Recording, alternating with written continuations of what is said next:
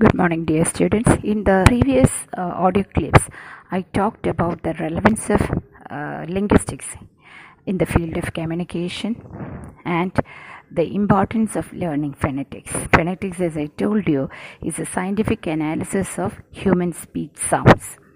And it is also concerned with the manner in which those speech sounds are articulated or produced. And this study is important because human speech, as all of us know, consists of articulated sound or voluntarily produced speech sounds. So, how are these sounds produced? These speech sounds are produced by human beings with the help of various speech organs. And uh, as I told you earlier, our, our language or our speech lives on the lips of the speaker. And so, articulatory phonetics is of much practical relevance.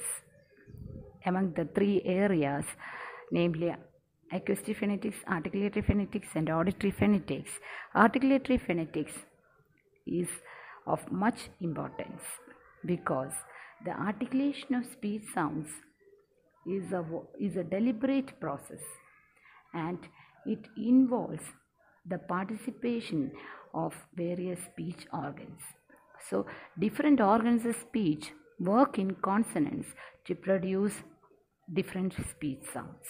And let us now uh, confine, let me confine uh, myself to articulatory phonetics. Speech sounds as we all know, have their origin in the airstream, airstream or the flow of air which emanates from the lungs. And this stream of air is further modified by the throat and mouth parts. And finally th- this comes out through our lips. So this is the um, most important or the main mechanism uh, at work behind the production of human speech sounds. And phoneticians or linguists have have uh, in fact given a very uh, scientific uh, explanation uh, to uh, this very basic process. And they have classified the organs of speech, these different organs of speech involved in the production of speech sounds into different systems. So, phoneticians, the organs of speech involved in producing various speech sounds can be classified into three main systems. Which are those three main systems? The first one is the respiratory system. So, the airflow, the flow of air emanates first from our lungs so we have to start off with the respiratory system. And the respiratory system consists of three main organs of speech, namely the lungs, the muscles of the chest, and the windpipe. The windpipe, which is also known as trachea, T R A C H E A. So these organs of speech, uh, which constitute the respiratory system, help in uh, pushing forward the flow of air or the stream of air. Then next we have the phonatory system.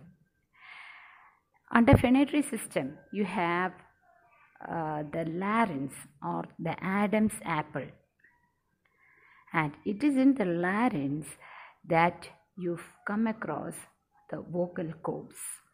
So it is the larynx which houses the most important speech organ, namely the vocal cords,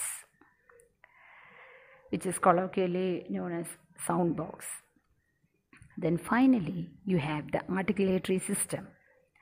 And under articulatory system, you have five main organs of speech, which are the nose, the roof of the mouth or the palate, P A L A T, the tongue, the teeth, and the lips.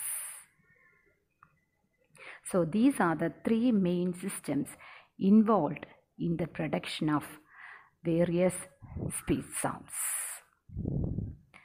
So, lungs, as we all know, lungs are the main source of energy, releasing air, uh, which uh, in fact undergoes uh, changes or modifications at different stages. And uh, they are connected to the trachea. When we talk about the physiological nature of lungs, you'll find that they are connected to the trachea, the windpipe, uh, by two large tubes. And it is through the trachea uh, that uh, the air we breathe, the air that we breathe out, the air that we exhale passes out into the outer atmosphere. And the air that we breathe out from the lungs, the air that is pushed out from the lungs, is technically termed as the pulmonic egressive airstream.